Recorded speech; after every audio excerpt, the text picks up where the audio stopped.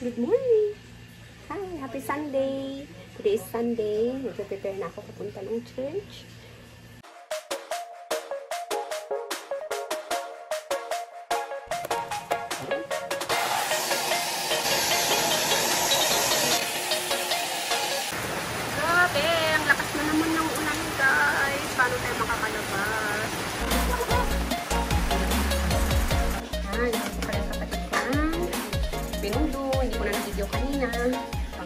Although, nag-coffee na kami kanina, pero kain lang kami ng rice.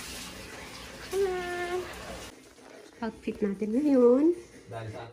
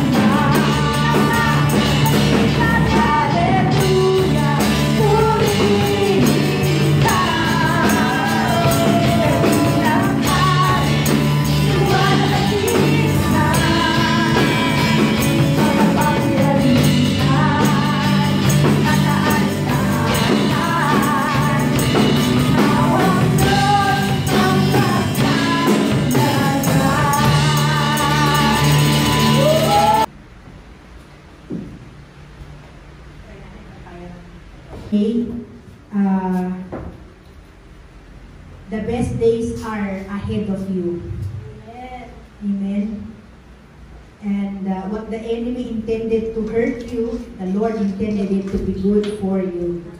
Kaya ata na iti may nga ang adipan kan anak iti apo at iti pagsande pagsanggiram mo sa uni apo Dios you have a, parang pader na pagsanggiram no and uh, pag nagkukwento si Jessica na gano'n you see the enemy intended it to to make them feel weak physically but inwardly, the Lord is strengthening them.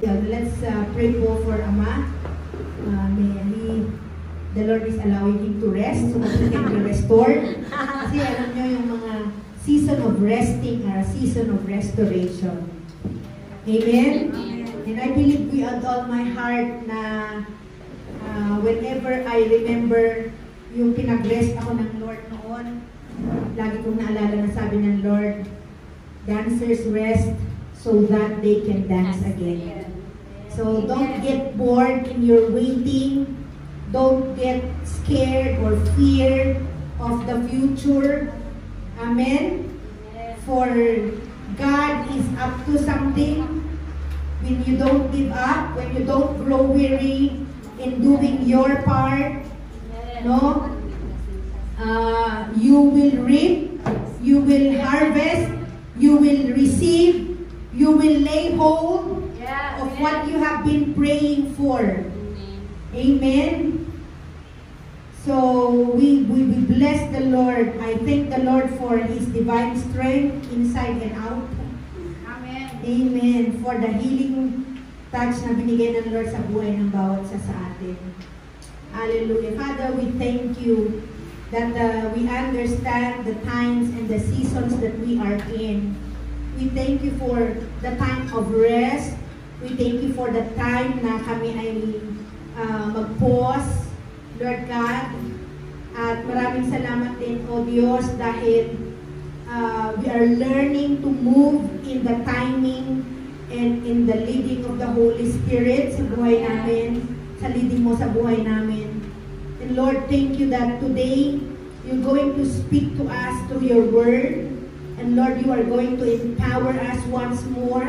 I pray that this word will be received in faith, O God, because these are the seasons of Rebecca's.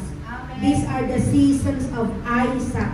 These are the season, Lord God, of uh, of uh, the outpouring, Lord. Lord, thank you because Jesus Christ is our living hope. Amen. That He who began a good work in us will be faithful to complete it. Lord, thank you for giving us even the spirit of joy and gladness that the enemy is not able to take it away from us, Lord God. Thank you for causing our feet to rejoice and dance before you. Thank you, Lord, that even as we dance and worship, God, thank you that we acknowledge that you are a God of celebration. And Lord, it is your will, it is your sure and definite will that every portion in our lives is an area of celebration. So God, thank you again for the season ng tatagbagyo ngayon. But God, there's rain, and where there is worship, there is rain. Where there is rain, there is outpouring. Amen? In Jesus' name. Amen. I would like to us to encourage po as a, as a family in the Lord. We are in the new season. Tayo ay nasa bagong kapanahunan. And uh, the world, the, the world force will make us uh, look at things that are temporary and can tempt us to look at things na they are seem to be permanent and very frustrating. No? And the only way that you can get out of that heavy atmosphere is oh, is to have a, a new wine and a new oil. Mga sasakyan nga eh.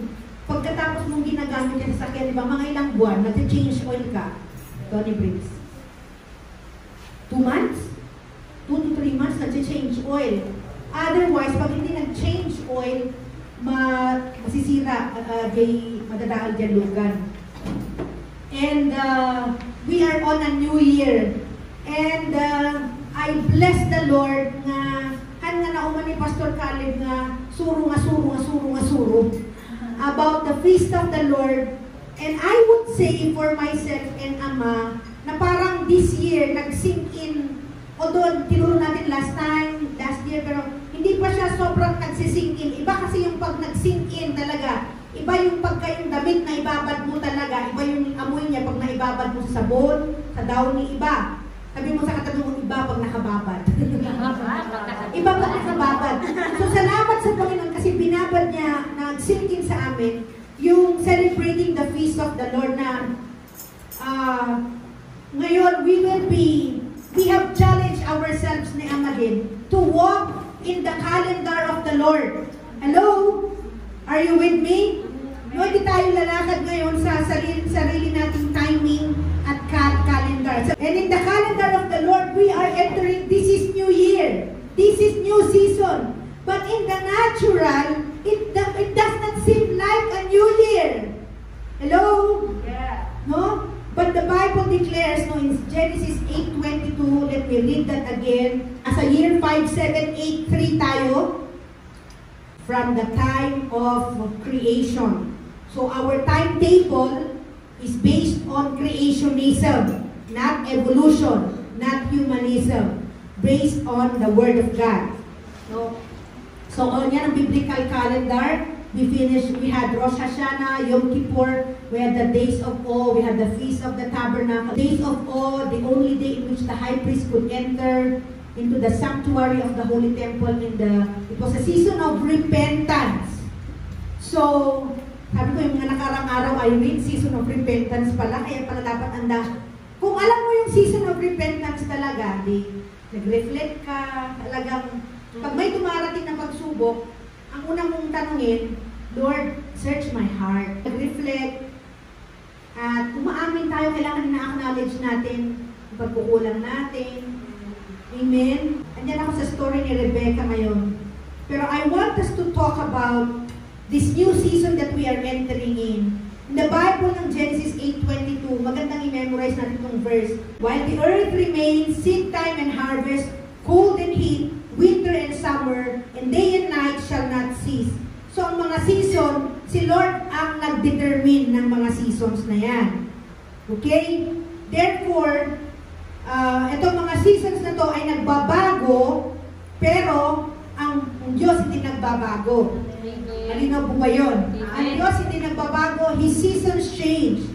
There is a season for everything and a time for every delight and event or purpose under heaven. Kailangan ma-check yung time. Dahil pag na-miss mo yung time, na-miss mo yung flight, nako, unforgettable namin ni Jonah na yun. Na, naipag-iwan kami ng aeroplano. And thank God, hindi na ulit na ulit yun. Kaya minsan kailangan dumaan ka sa mga ganun ng mga pressuring time. Yung mga painful time that you have to pay the price. But when you pay the price, you see, it leaves you a very long-lasting lesson. Hello? Amen. Pero of course, learn from us. You don't have to learn that na. Amen? Amen. Sino na yung mga nakaranas na na-offload din noon? Wala pa Wala pa naman. Ay, si naranasan niya ng ma-offload. Oo. Oh, mahal-mahal ma-offload. Buti pa yung Davao, mura-mura yun. so, time. Okay, so God is raising a tribe of, raising a tribe of Issachar. We are arising. Sabi nyo nga, we are arising. Salamat kasi when Jessica was telling he, she heard the Holy Spirit na sabi na kunin yung oil. No, mga dapat mga ganyan na ngayong araw-araw na lakad natin na sabi ng Lord, kausapin mo daw itong taong to. Sabi ng Lord, ito yung pupuntahan kong opisina. Mga ganyan na ngayon ang mga kailangan kinukonsult natin sa Lord. Lord, anong isasagot mo dito sa text na to? Hello? Amen. God is raising men and women who, who are from the tribe, who have the anointing of the tribe of Issachar. I don't know. I have never been this fascinated with the calendar of the Lord ever before. Pero ngayon, I am so eager and excited nga sabi ko, Lord, this is the new wine and the new man mantle I wanted to walk in. I know I have, I have, we have tried to serve the Lord, walk with the Lord before, ganon. Pero, uh, na-acknowledge din natin na may mga panahon na pinamunahan natin talaga ang Diyos. O kaya hindi pa nga siya included sa decision making natin. O kaya hindi talaga tayo nag-fast and pray for a certain time, for a certain event in our lives. And I said to God, Lord,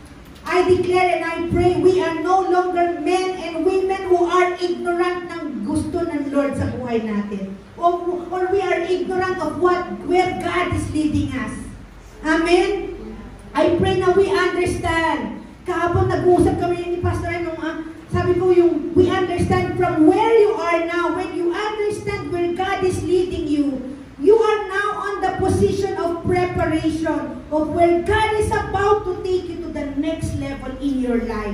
Don't even ever think na what you are doing now is so different from what you will be doing 10 years.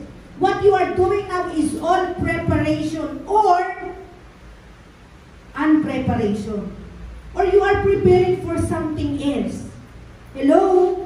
That's why we have to seek the Lord. Lord, anya ba tirong bangar aramid iti oras ko kon tiyempo, iti day pinaguntawan. Amen? So, 5783 tayo ngayon sa biblical calendar. Let me take you ngayon sa timetable sa buhay ni Rebecca. Okay, let's go to the book of Genesis chapter 24. Look, starts with the title, A Bride for Isaac. The story of Rebecca is a, is a, a beautiful love story and uh, a beautiful uh, a, story of discovery. It is a testimony of answered prayer. It is a story of how we should be conducting our lives. How should we be conducting our lives? Sabi mo sa katabi mo, well, maski na lalaki ka, o babae ka, itong life story ni Rebecca, it speaks to all of us. No? Being we are the bride of Christ also. Amen? So, Genesis 24, uh, it starts with this. Abraham, verse 1, wala dyan, was old, advanced in age. Parang mas maganda yung term na yun. Hindi yung old, ano? Okay. And the Lord had blessed Abraham in all things.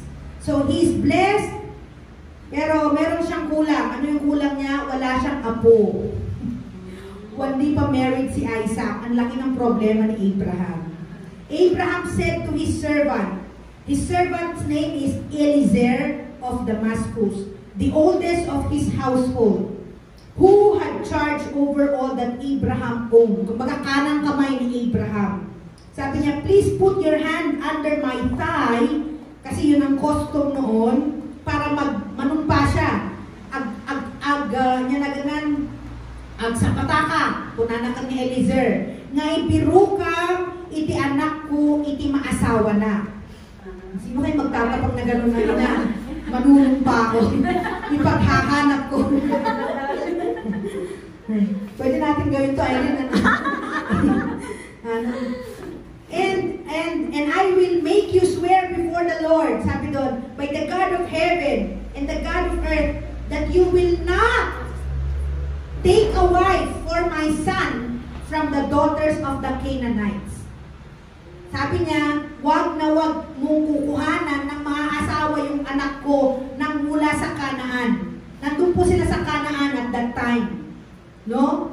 Pero sabi ni Abraham, hu- among whom I sabi niya, verse 4, But you will instead go to my former country, Mesopotamia, and to my relatives, and take a wife for my son Isaac, the heir of the covenant promise.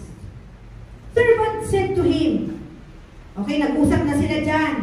Sabi niya, paano kung ayaw sumama sa akin? Ah, ang sabi lang ni Abraham, verse 6, See to it that you do not take my son back there. Okay? Ang covenant niya, hahanapan mo ng mapapangasawa ang anak kong si Isaac, pero hindi mo kailangan dalhin si Isaac doon. No? Grabe yung yung declaration ni Abraham, yung kanyang confidence in the Lord, that the Lord will not make a mistake through El- Eliezer. And then, verse 8, if the woman is not willing to follow you, then you will be free from this oath and blameless. Only you must never take my son back there. Alam mo, it reminds me, sometimes the Lord tells us to do something, but it may not work out the way we wanted it to be. But what is God after? Just our obedience. Pagka nag-obey lang tayo, pagka sinunod lang natin yon, we are free. In short, cut the story short, Eliezer, umalis siya, sa pagdating niya, naglakbay siya, nagdala siya ng mga assistant niya, nagdala siya ng mga gold, wealth, things to give sa magiging bride. Grabe, no? Yung, pinag yung, pag yung paghahanda niya. And then he began to pray. In verse 15, before Eliezer had finished speaking, sabi ng Bible, before Eliezer had finished speaking, he was praying. Rebecca came out with her jar on her shoulder. Kasi remember, ano yung pinag-pray ni Eliezer? Ang prayer niya, Lord, kung sino man ang babae na magpapainom sa akin at sa mga camels ko, Lord, isuna dahil dyan ay, uh, that is the sign na siya may magiging bride for my master Isaac. Mhm. Sabi mo sa katabi mo, ikagsakto. eh, okay lang po kung ang hawak natin palanggana. Okay lang kung ang hawak natin ay walis at timba. Amen! Rebecca was the daughter of Bethuel, the son of Milcah, who was the wife of Abraham's brother, si Nahor. Verse 16, the girl was very beautiful, a virgin and unmarried. And she went down to the spring and filled her jar and came up. So ano pong ginagawa niya? Nagsasakdo isuna. No? Kaya yung pag-iigib natin, no? pag-iigib din natin ang salita ng Lord. Amen? Kaya dapat lagi tayong naandun sa well of the springs of living water of the Lord. Because it is in the well that you will encounter your miracle in your life. Amen? Amen. And shortcut, verse 18 to 19. Nagpakilala si Eliezer kay Rebecca. Humingi siya ng water. And Rebecca said, and she said, Drink, my Lord. And she quickly lowered her jar to her hand and gave him a drink. Sabi mo, may patutunguhan yung mga pagpapainom-painom natin, pagpapakapi-kapi natin. And then, when she had given Eliezer a drink, she said, I will also draw water for your camels until they have finished drinking. Usapang camels muna tayo. So, sabi ng dictionary, ay ng encyclopedia, sino ba nakakita na ng camel dito? Ah, doon sa Baluarte. Nakita na yan ng ano Ah, na yeah. camels. Nakita ka na ng camel, Isha? Ha? Oh. Cheers. Pictures. Okay, now, they can live in harsh desert environments. Tapos, they can survive without food or water for a couple of weeks. And they can eat thorny uh, plants. Kasi makapal yung lips ng camel. Kaya, kumbaga, nagpuskol ka, nagtikar, nakalyo. They can eat thorny plants that other animals cannot. So, meron silang pagkain na sila lang nakakakain. They have an impressive ability to carry heavy load. It, therefore, ang camel is a symbol of richness, richness, and wealth. Kaya nga pagka pinapakita yung tatlong hari, di ba, na dumalaw kay Jesus, nakasakay sa camel. So pag nakikita natin yung camel, yun pala is a symbol of kinabaknang, kayamanan. Okay. A typical camel. Ang isang camel, nakakainom ng ilang liters? 200 liters or 53 gallons of water in 3 minutes. Wow! Eh, basahin, nung pinasa ko ulit Genesis chapter 24 verse 10, ang sabi po doon, ilan ang ilan ang camel na pinainom? Akala ko isa lang. Ang camel na pinainom ni Rebecca. Verse 10 of Genesis 24. Then the servant Eliezer took 10 of his master's camel. Sampu na camel ang dala-dala niya. No? Ibig sabihin, kung minimum ah, binawasan ko yung 53 gallons. So binawasan ko lang yung 53 na lang. Kunwari, 32 gallons lang ang naiinom ng isang camel. So times 10, ilan yun? Magkwenta kayo, 320 nga galon. Sabi ko nga eh, maglabas ka nga ng galon. Siguro kayang-kaya naman, maski pa paano kayang-kaya buhatin ni isa yung isang galon. Ano? Pero isipin mo, nag-igip si Rebecca ng minimum of 320 gallons of water. Pinainom niya yung sampung camel ni ni Eliezer. Muscle mo. Yun yung price that she had to pay. Hello? Hindi niya inisip na wala na yung beauty niya, makita yung mga muscle niya, pagpawisan siya. But that extensive uh, service, no? What Rebecca did was not ordinary. Naku, may mga kababaihan pa bang ganyan ngayon? Healing? 320 gallons. Pwede mo mag-start ng pag-iib ngayon. Pwede na mag-start correct. Siguro, ini-imagine ko eh, nung sumasalok siya, nung pang 100 na. Kasi hindi pa yung grill po eh. Man yung grill po na antayin mo bago mapuno yung gallons eh. Ibababa niya, ilo-lower niya yung jar in the well. And she would, she did that for how many times? But what she did was not ordinary. She was willing to go the extra mile of service. That was her definition of beauty. God is looking for men and women who would work the extra mile of service. Sometimes we are asked to do something. But if you would do the extra mile, di ba sabi lang yung teacher mo, Judge, magwalis ka, hindi ka lang nagwalis. Nag-map ka pa. Nag-floor wax ka pa. Di ba? Amen?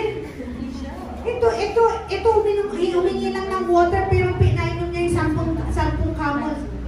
Noon, napapa, napa, napapanood ko yung story ni Rebecca. Pero when I dig in deeper, sabi ko, wow!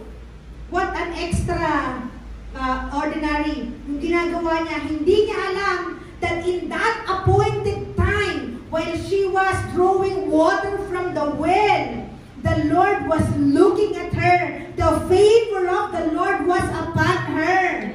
Amen. And the Lord was up to something. In the natural, it seems na anyamot ten apo na aramin at makabanog. Apo pa ulit-ulit 320 gallons. Siguro pag ako yun noon, grabe ang reklamo ko din. Ano? God is raising men and women of stature and character. It speaks of humility. Hindi yung pagsiserve mo na yun, you can only do that only when you know that what you are doing is not for men. but for the Lord. Amen. And God will have to bring us to situations just like Rebecca had. No? Humble yourself in the sight of the Lord and He will lift you up. James chapter 4 verse 10. So, it was a season, a very humbling situation kay Rebecca. Hindi siya, hindi siya nagsabi na babae lang ako, hindi niya in-excuse ang sarili niya. Hindi siya naging timid, hindi siya naging passive. But she did it, did it, did it with all her heart. So as we humble, may serving. Sometimes it's painful. Sometimes it's tiring. No? Kaya sabi ko dito, don't confuse passivity with humility. Kaya kung tayo namin, the humility, the humble, diyan nga siya sa o. I was listening also to Derek Schneider. There's a short message this morning. And she was saying, he was saying na no, leaders today must have an opinion. You know where you stand, but you don't compromise. Kung pag naging silent ka, it does not mean that you are humble. When you don't know where you should be, taking side, or you know you don't know where you stand, it's uh, it's different. You, yung, yung may humility and you know you have a stand. Make a decision that you stand in in in in your conviction sa Panginoon. So, Jesus tells us that the kingdom of heaven is taken by force. So, kailangan tayo in our prayer, hantayo nga, hantayo lang nga talna, nga yan, yung quiet. Kasi, grabe ngayon yung labanan, ga, grabe ngayon yung pang, yung tawag dito, yung hilaan sa sa world, sa kingdom ng Lord, and in the kingdom of darkness. Today, the Lord is raising up men and women na, yeah, we are willing to do the 320 gallons. Oh, we have to do, kung kailangan natin, we have to do 320 times of kneeling down, raising hand, 320 times of worship, have to see beyond sa mga circumstances natin. And then we go to Genesis chapter 4 to cut the story short. We go to Isaac naman. Ano ang ginagawa ni Isaac? In the book of Genesis chapter 24 verse 63. In short, si Rebecca after niyan, na-confirm ni Eliezer na yun yung asawa, yun yung mapapangasawa ni Isaac. And then he offered gifts to Rebecca's family. At uh, mag stay pa sana sila ng matagal doon, si Rebecca. But uh, with her permission, immediately, no, a- after a very short period of time, ay sumama na siya kay Eliezer to be to meet Isaac. And in verse 62, so habang may nangyayari, may ganap na ganon, habang may ganap na yon sa ibang dako ng mundo, sa kabilang dako naman, verse 62 of Genesis uh, 24, Now Isaac had returned uh, from going to Bir Lahai Roy. Saan siya pumunta? Well of the living one who sees me. Galing din siya saan? Sa well. No? For he was living in, in Negev. Isaac went to bow down in prayer in the field in the early evening. So you see, on the other side of the world, si Isaac also was praying. Sinabi ko ngayon dito, the camels are coming. okay, Isaac went to bow down in prayer in the field in the early evening. And when he raised his eyes and looked, hindi pa niya nakikita si Rebecca. Wala siyang makitang Rebecca pa. But he saw the camels were coming. And camels were symbol again of riches, wealth, and hope. Amen. I pray and I declare that the Lord will open our spiritual eyes. Makita natin magkaroon tayo ng hope at sabihin natin, Lord, my camels are coming also. Amen. At doon sa verse, uh, sa 63 na yan, so nakita natin that uh, the camels, no, na umalis are now returning. It gave hope to Isaac. Now, in relation po sa panahon natin ngayon, Today, we are on the year 5783. Uh, yung 80, 80, 80, this decade, itong sampung taon na to, we are on the decade of pain. Pay, P-E-Y, in Hebrew is mouth. No? We are on the decade na when we declare ngayon, the things that we declare will determine your future. So, be careful what your dialogues are daily. Yung what you hear, what you meditate in your mind. We are on the year of the of of the mouth. Kaya din ngayon is a war. In the kingdom of God is the war is between words. No? The the truth is being confront is, is confronting lies today. And then, yung number three, in the Hebrew calendar, in the Hebrew alphabet, yung number three is uh, Gimel. Uh, and yung Gimel, yung camel came from the word Gimel also. So, year 5783 is the year of the camel. At ang sinasabi ng mga prophets ng Lord and the Word of God, it is time to position ourselves to receive increase. And there are words associated with Gimel. Yung Gil is a Hebrew word from the word Gimel, which also means joyful praise. Kaya nga, kaya nga ngayon we really have to embrace the truth that God is a God of celebration and I cannot allow sadness to overtake me. I cannot allow stress and depression to overtake me. But I will arise. I will make a decision to praise the Lord.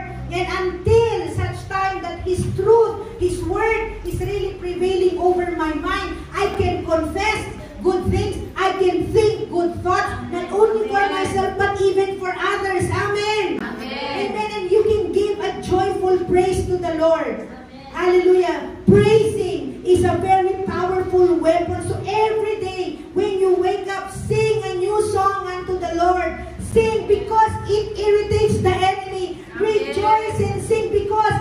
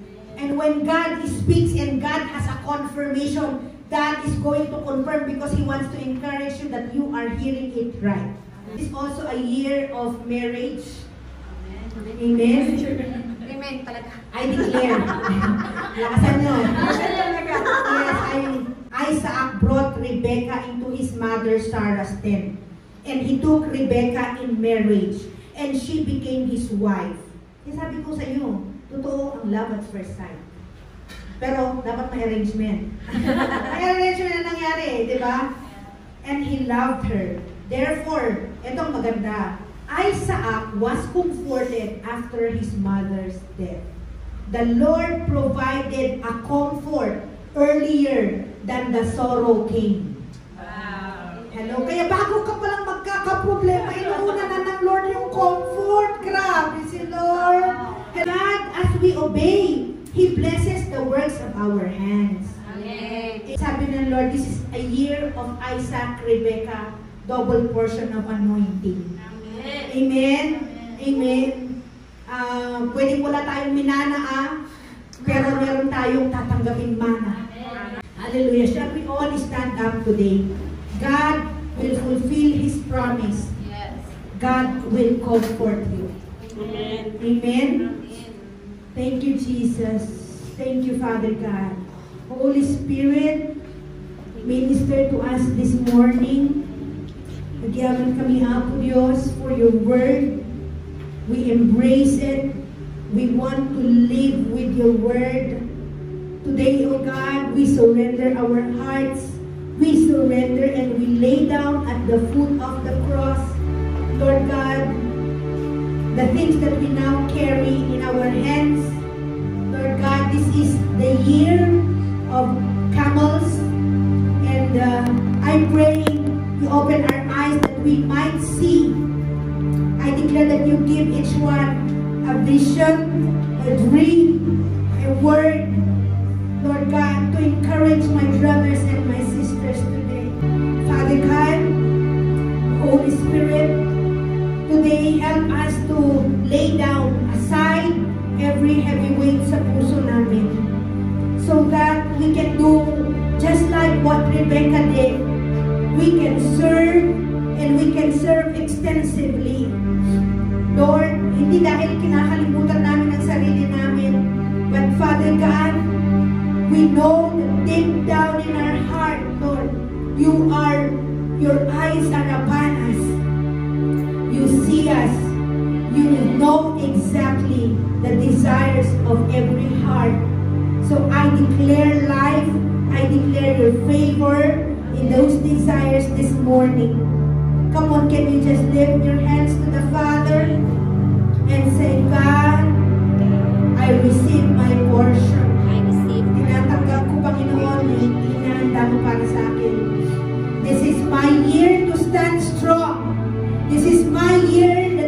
fight for me in battle. I will not work on my own, on myself, but God, you will go ahead of me. Your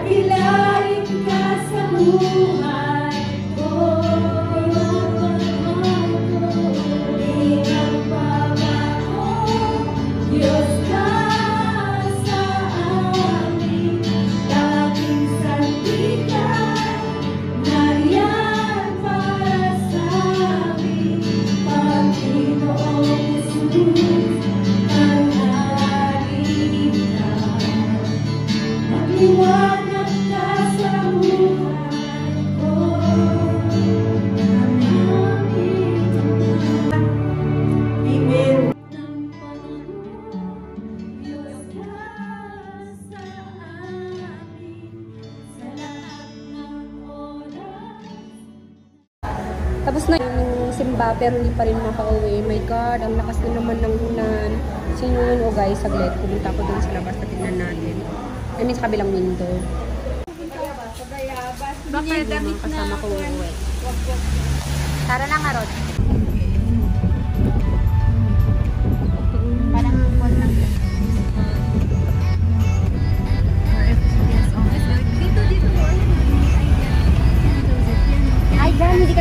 Dyan. Doon pa nasa saparan yung sinasabi ko. Ito ako.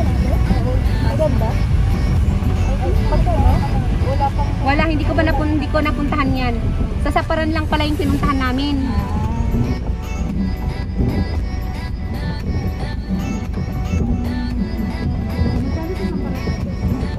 Wala, walang space. Walang free space doon.